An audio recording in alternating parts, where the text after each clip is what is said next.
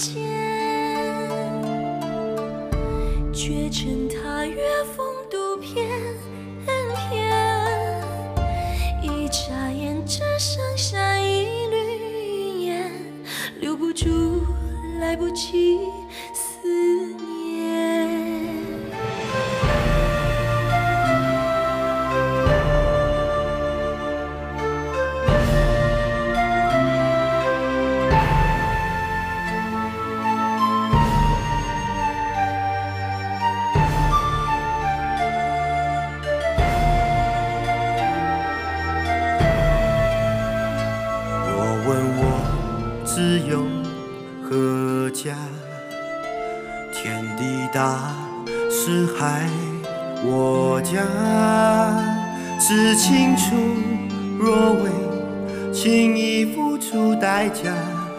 月亮我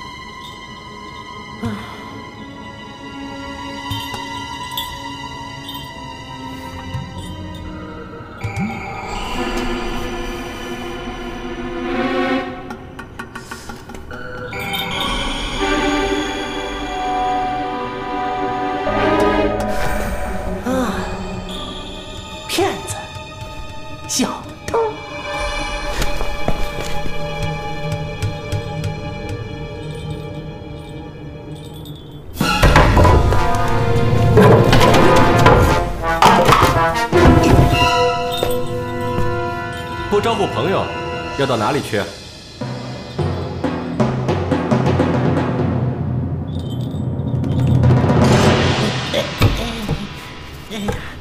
小兔子乖乖，把门儿开开。客人，你是客人吗？你是个大骗子，你是个小偷。哼无论如何，做亏心事的又不是我，所以我不用钻地洞。我的朋友都在地洞里面呢，我找他们玩，关你什么事儿啊？哦，你钻地洞是为了找朋友？难道你的朋友住在地洞里？嗯，那么你的朋友一定是兔子，只有兔子才会钻地洞。哎呀，你猜对了，这兔子比人好玩多了，为什么不能跟兔子交朋友呢？没错，找兔子交朋友至少没有危险，因为任何人装疯的时候，兔子都不会发现的。看样子你也想跟兔子交朋友，来来来，跟我一起来，我带你去啊！我又没有杀人，也没有装疯，我为什么要跟兔子交朋友？你你在说说什么啊？我还小，我听不懂啊。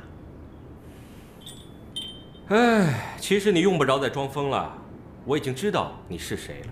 哼，我当然知道我是谁了，我是薛家的二少爷，有谁不知道啊？哼除此之外，你还是天下第一号的冷血凶手。凶凶手？什么是凶手？我的手很凶吗？哎，我看我的手不凶啊。你一走进这屋子，就立刻发现有人进来过。虽然你的东西放得乱七八糟，但是只要有人动了一动，你就会立即察觉到。嘿嘿，我的兔子朋友都这样，只要你去了，他们立马就知道你来过。这么说，他们也是凶手？你算准，除了我之外，绝对没有人会怀疑你。所以，只要有人来过这个地方，你第一个怀疑的就是我。你？当然是你啦，因为你是个大骗子，你是小偷。哼你这间屋子虽然看起来很像疯子住的地方，其实有很多破绽，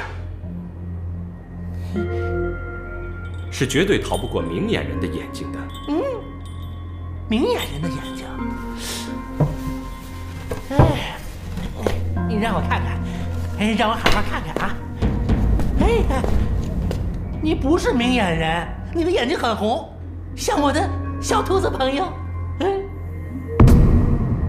这里像是书生的书斋，虽然你把书堆得乱七八糟，其实却自有条理。唯一不同的是，这里比起书生的书斋干净了很多。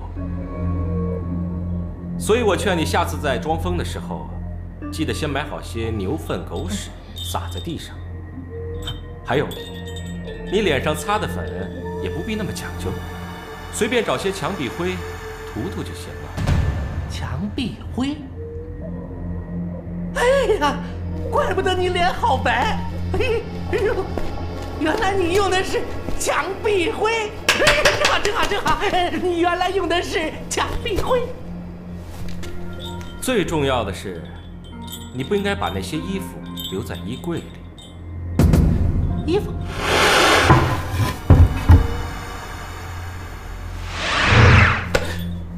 你真讨厌，你偷看别人换衣服。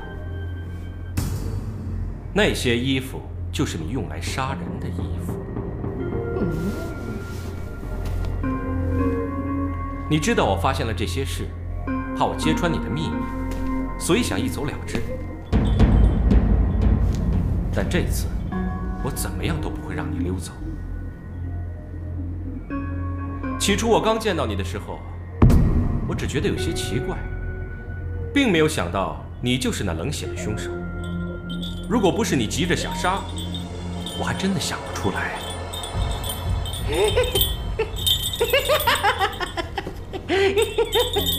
他们都说我是疯子，你说我不是疯子，你真是个好人。嗯到后来，你发现要杀我其实并不是件容易的事情，所以你就嫁祸于我，利用你兄长的利剑来取我的命。于是你就先去盗剑，然后再去行刺。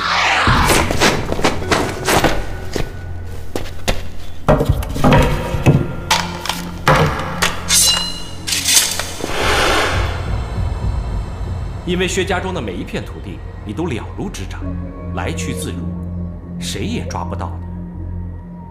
尤其是那扇门。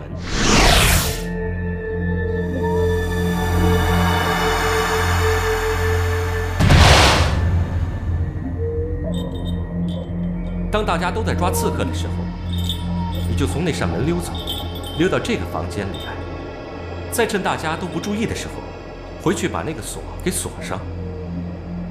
就算有人发现了你，那也没什么好奇怪的，因为在那些人眼中，你只不过是个疯子。这就是你所谓的隐身法。啊，你的确是聪明过人，把每件事都设计的天衣无缝，让谁也没有想到，薛家庄的二公子，薛一人的弟弟，居然是一个会为钱可以买得到的刺客，会为钱去杀人。哼，就算说出来，我看也没有人会相信。对呀，谁会相信薛二少爷为钱去杀人呢？荒唐，荒唐极了！一点儿也不荒唐，因为你杀人，并非为了钱，而是为了你的权利，为了补偿你所受的气。谁受气了？你说谁受气了？谁敢让我受气？我哥哥是天下第一剑客，谁敢让我受气？嗯，就因为你是天下第一剑客的弟弟，所以才会落到现在这种地步。你本来真的很聪明，又有才气，武功又高，在武林中也算数一数二的高手。以你的才气和武功，肯定在江湖享受一番盛名。哼，只可惜，只可惜你是薛一人的弟弟。因为你所做的一切，将被天下第一剑客的光芒所埋没。无论你做了什么事，大家都不会为你喝彩，只会为天下第一剑客的弟弟喝彩。倘若你有成就，那是理所当然的，因为你是天下第一剑客的弟弟。但是如果你做错了一件事情，那你就罪大恶极了，因为人们都会觉得你丢了天下第一剑客的脸。倘若换了别人，早已经向命运低头，就此消沉。但你是一个不肯服输的人，而且。你也知道，你的成就是永远不会超越你的哥哥的。这一切自然来自你哥哥从小对你期望太深，约束你太严。爱之深，难免责之切，所以你才要反抗。但是你又知道，在你哥哥的约束之下，你不能轻举妄动，所以你才想出了装疯这个法子，好让大家不再注意你，好让大家对你失望。这样子，你就可以自由自在，做你想做的事情。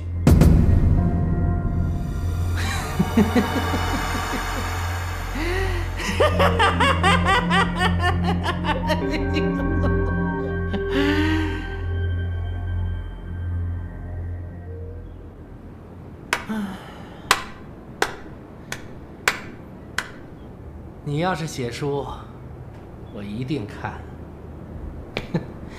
因为你编的实在是太好了。不过你非要说我是刺客，我是凶手，拿出证据来呀！你要证据？当然，要是没有证据，那不成了血口喷人了吗？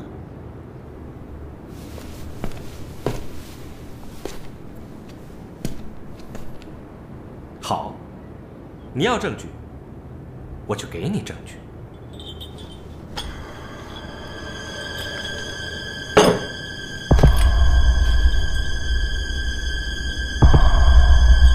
这就是证据。这是什么证据？这把锁是那大门上的锁，已经许久没人动过。除了前天那位刺客开过，就再也没有人动过它，是吗？哦，也就是说，这把锁上面留下的手印，一定是那个刺客留下来的，是不是？但是现在这把锁上面的手印，却只有你的而已。手印？什么手印？人乃万物之灵，上天造人，的确奇妙的很。你我虽然都是人，但是我们的身材相貌却截然不同。这世界上也绝对不会有一个身材与相貌截然相同的人。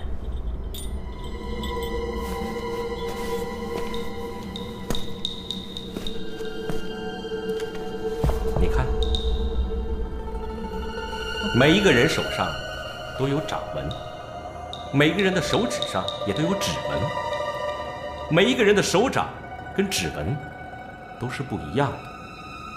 也就是说，这世界上没有掌纹跟指纹相同的人。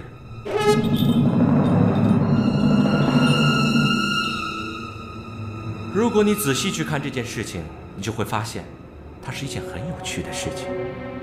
只可惜，很多人都没去留意。你那些把戏只能骗三岁的小孩子，可是我已经十二岁了。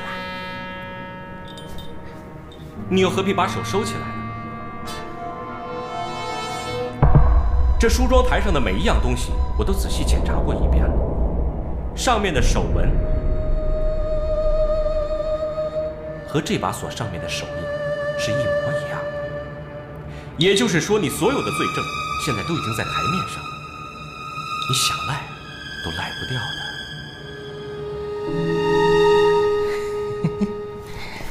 你是说这锁上的掌纹跟我这些盒子上的一样？这这上面当然有我的掌纹了。其实你又何必这么做呢？你这么做就是做贼心虚了。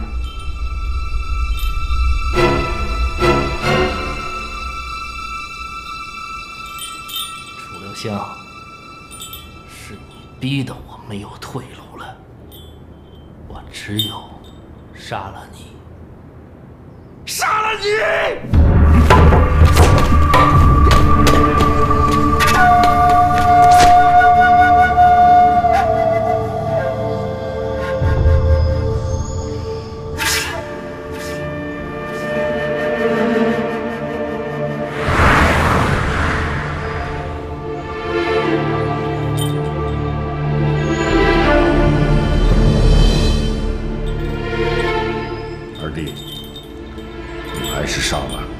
帅的当了。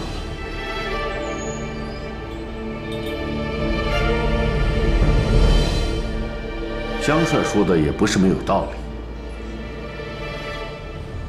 人的手掌上的纹路，的确，每个人是绝对不一样的。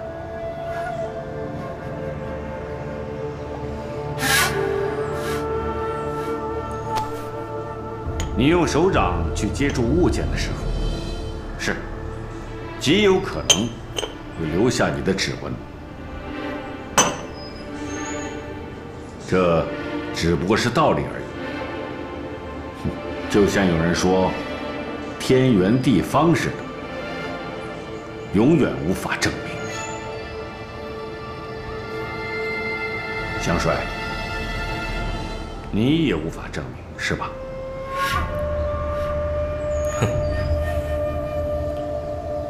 没错。这些道理可能在千百年以后才有办法证实，但是在现在的确是万万不可能的。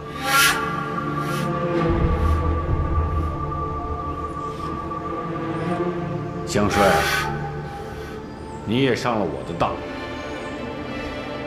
我上了你的当。那个杀手组织的首领。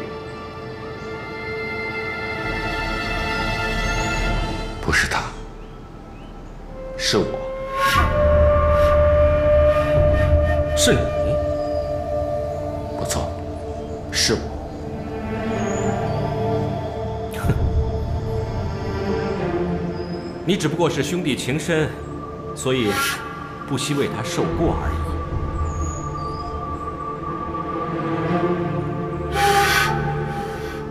我就是不忍看他替我受过罢了。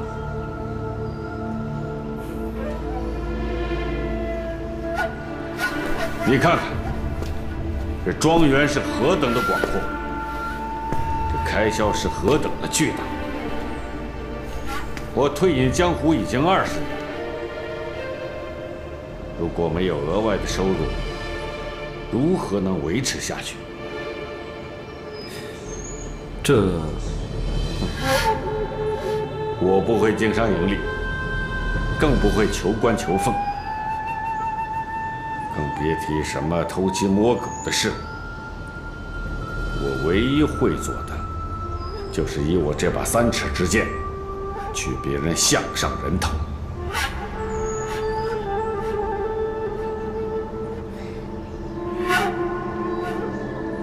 为了保住我祖先传下来的宅子，还有那么多的门下弟子的丰衣足食，逼不得已，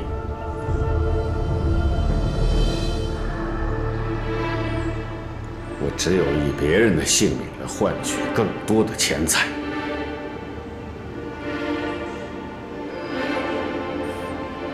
我的二弟，他也是为了顾及我们家门的荣誉，才替我扛下了这个罪名。要不然，不要再说了。这里没你的事，剩下的事我自会和香帅了断，还不快滚！我为什么要听你的？我为什么一定要听你的？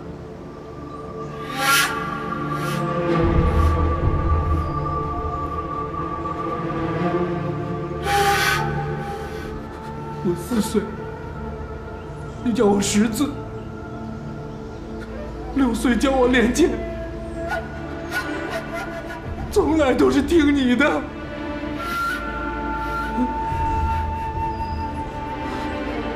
你说什么，我都不能违抗。你把我养大了，现在还要替我受过。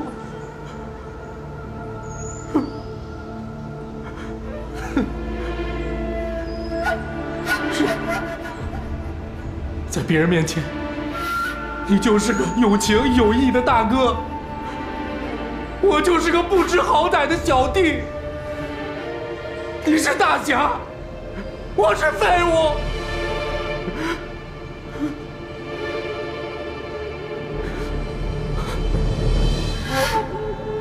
我就是想做我自己，就是想做我想做的事情，哪怕是错的。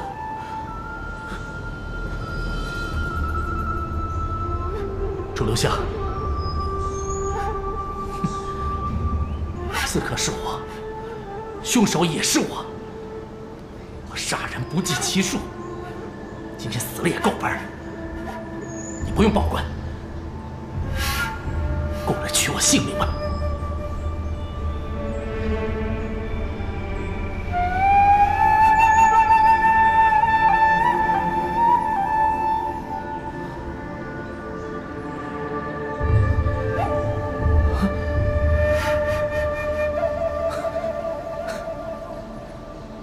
可怜我，我不要你们可怜。今天。我终于可以做一件让我自己负责任的事情了，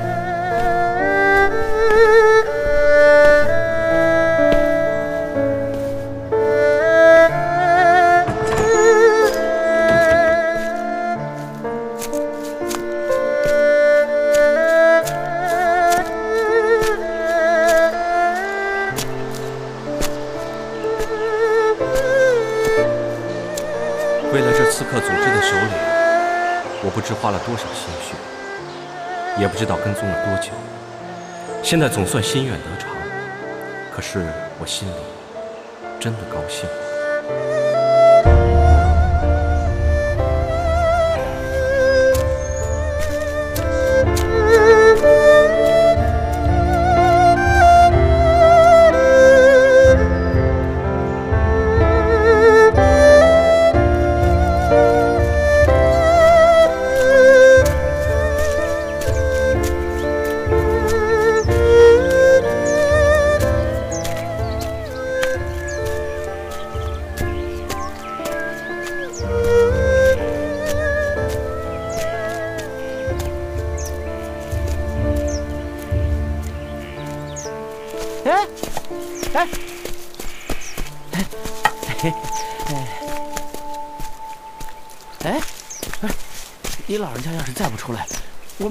要急死了。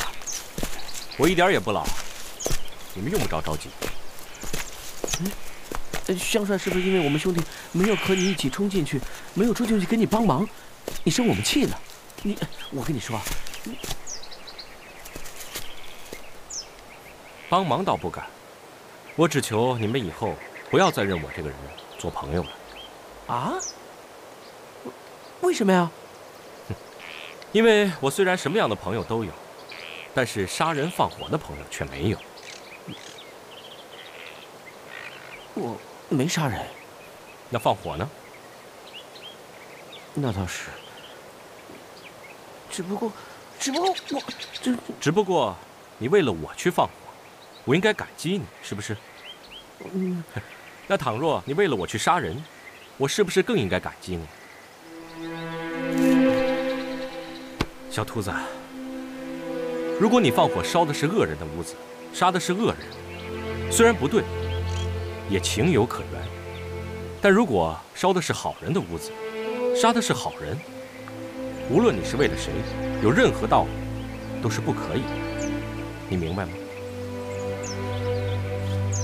啊，我只希望你明白，大丈夫有所为，有所不为。唉，你要记住，有些事情，无论你有任何理由，都是万万不能做的。嗯我明白了。以后不管是为什么，也不管是有什么样的理由，都不能去做坏事，都不能杀人放火。嗯只要你记着这些事情，你以后不但是我的好朋友，还是我的好兄弟。嗯还有，你要记住，男人流眼泪一定要往肚子里流，这鼻涕嘛，却万万不可咽啊。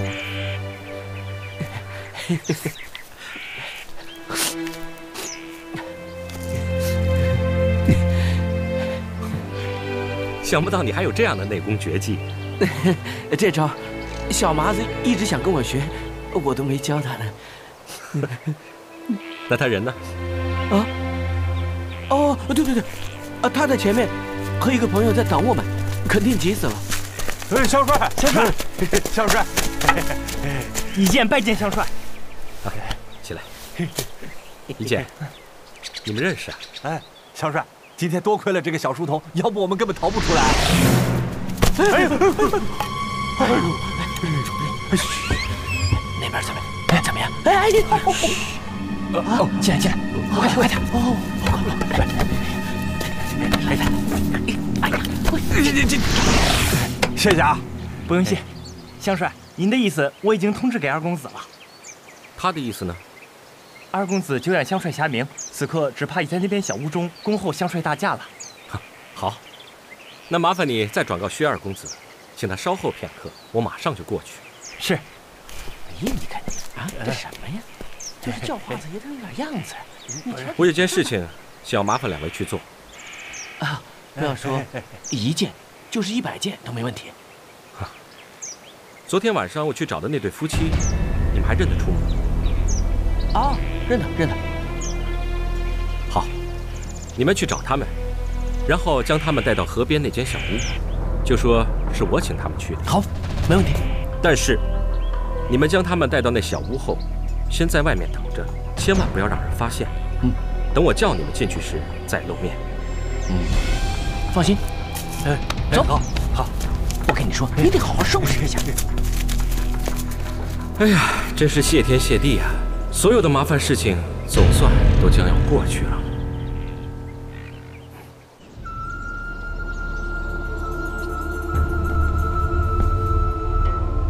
不知道香帅可否查出一点眉目？二哥，如果你想让这件事情水落石出的话，恐怕你还得帮我一个忙。什么事？但说无妨。我想请明珠外出一趟。你是说，让明珠离开至悲山庄？哼，没错，离开至悲山庄。那如果花金宫抢人怎么办？二哥，你难道认为花金宫能从我的手上抢走明珠吗？就让明珠跟你走一趟吧。不过，她的安全就交给你了。哼，二哥，请放心。好。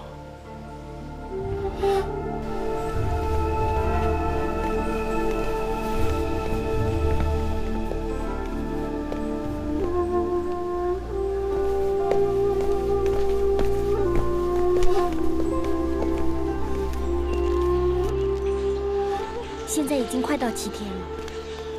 我知道。你答应过我，只要等到七天，你就让我回去的。嗯。那么现在我可以回去了。你当然可以回去。可是你回去之后，你父母还会认得你吗？如果换了是我，我绝对不认一个陌生女孩子做自己女儿的。可是你答应了我，你就应该替我解释啊。哼。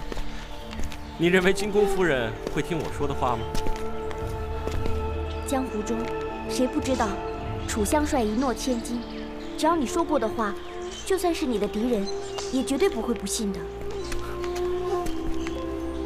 你放心，我总是可以让你如愿的。只是有些事情不能太着急，一旦着急了，我的章法就会乱。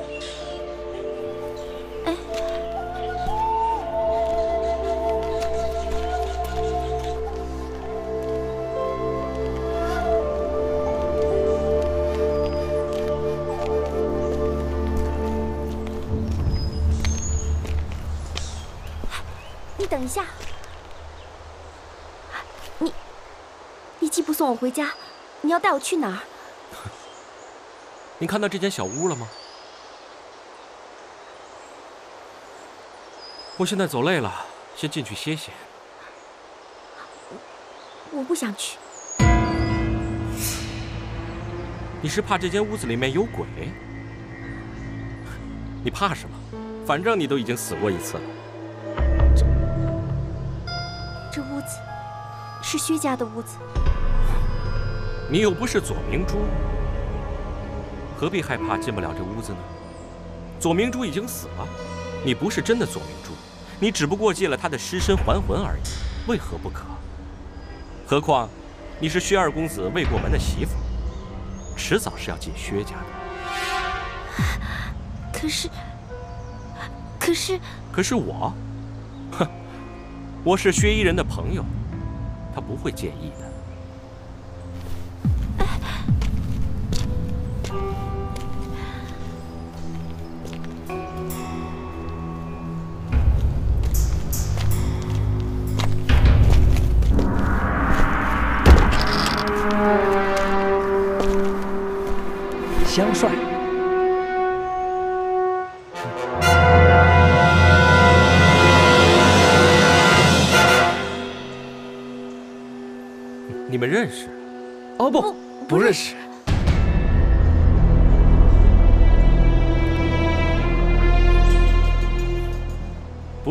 没有关系，反正迟早都会认识的。你就是薛二公子薛斌？不敢不敢，弟子正是薛斌。香帅的大名，弟子早已如雷贯耳。只是不知香帅此次有何吩咐？吩咐倒不敢，先进屋里面再说吧。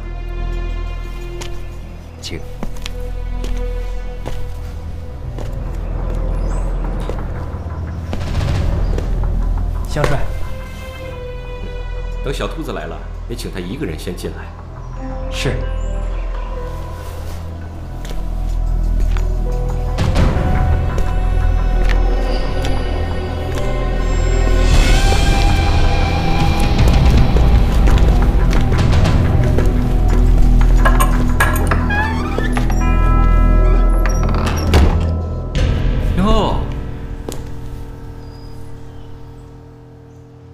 这间小屋还真不错，就算用来做新房，也是相当好，是不是，雪儿公子？啊？不敢。是。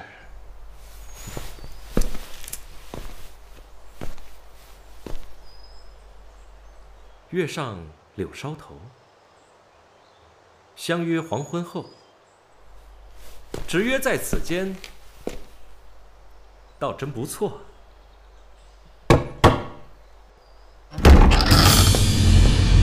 香帅，这两个人，你是否认得？啊？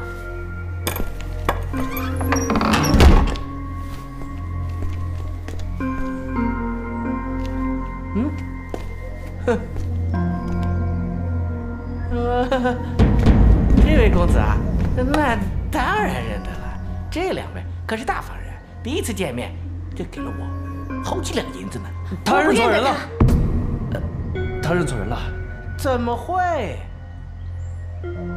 怎么会认错？我们叫花子啊，嘿，见到大方人，那是一辈子都忘不了的。哎，嘿嘿。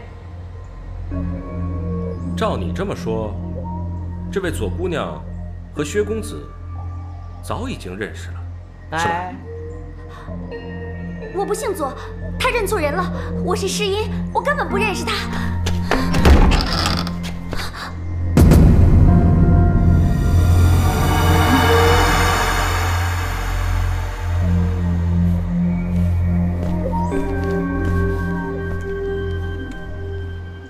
你认得他吗？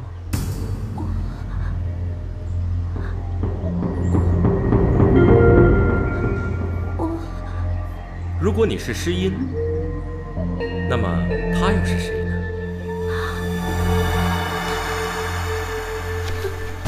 哎，哎，这，他，他，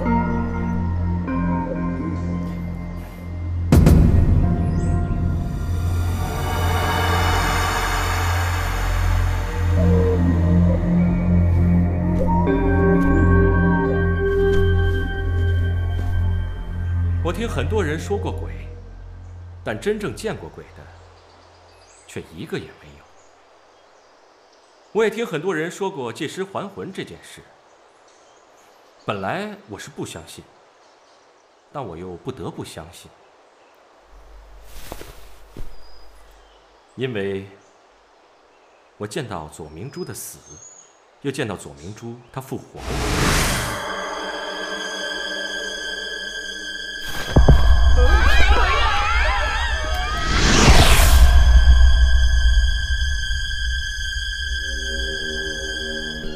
看到诗音姑娘尸身身上所穿的衣服，和左明珠说的是一模一样。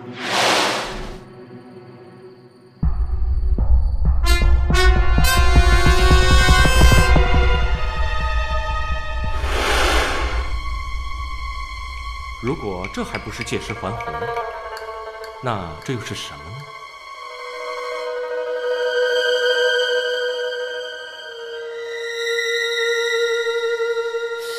可现在诗音姑娘没有死，这左明珠又怎么能开口说话呢？那这诗音姑娘没死，那她的尸体又怎么解释呢？这件事情的确很复杂，我也正百思不得其解。直到我无意中闯进了这间屋子，在火炉中发现了一个梳妆匣子。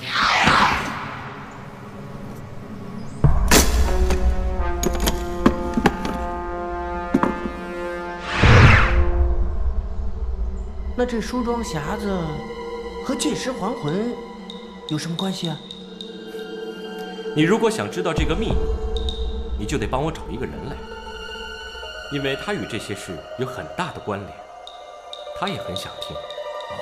嗯，小帅，您说的是不是那位石姑娘？你也认得她？哎，我已经把她请来了，可是石姑娘说啊。一定要换了衣裳，再来见香帅。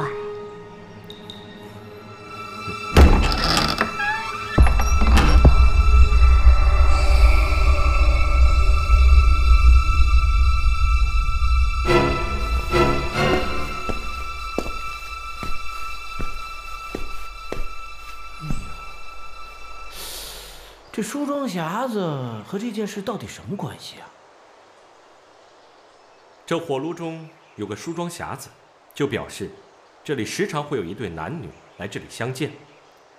我一直以为是另外两个人，直到我闻到他们的香气，发现和这梳妆匣子里的香气有点不大相同。所以你听我这么一说，你就我听你这么一说，我就立即猜到，这其中一人就是薛斌。天